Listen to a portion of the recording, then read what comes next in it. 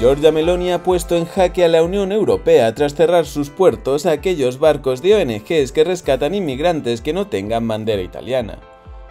Esta medida era una bofetada a las políticas migratorias de Sánchez, pero mientras el presidente guarda silencio y esconde la cabeza, Francia ha elevado la voz para enfrentarse directamente al país vecino, generando el primer conflicto internacional de Meloni.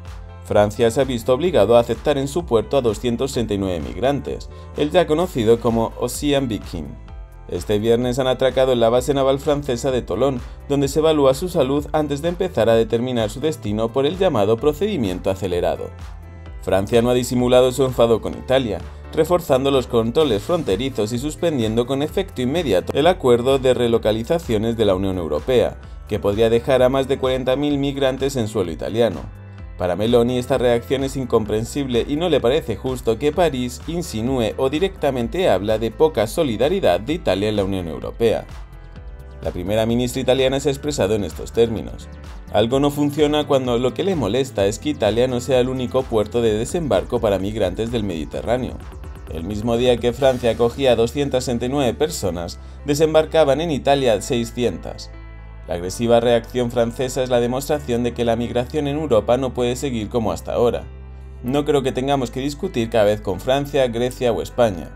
La única solución común, y lo hablé con Macron, Alemania y la Unión Europea, es la defensa de las fronteras exteriores, bloqueando las salidas, abriendo centros. Hemos gastado millones de euros para ayudar a Turquía. Pido que se construya una solución europea. Francia desde hace años se cree que dirige la Unión Europea y manda y ordena como si dependiera de ellos la estabilidad de nuestras fronteras. Pero mientras Sánchez esconde la cabeza ante, por ejemplo, la negativa de construir el gasoducto, Meloni saca pecho y se enfrenta a Francia y a toda la Unión Europea, ya que no piensa permitir que Italia se convierta en un campo de acogida de refugiados, mientras el resto de países miran desde lejos. De hecho, Francia ha demostrado acogiendo a estos migrantes que podría perfectamente acoger a la mitad de los barcos que llegan a Italia o España, pero eso no interesa. Meloni ha puesto en jaque a toda Europa y no tiene pensado ceder ante las amenazas de Macron, una actitud que deja con el culo al aire a Pedro Sánchez y deja ver su falta de fortaleza en la Unión. No olvides darle like y suscríbete si aún no lo has hecho.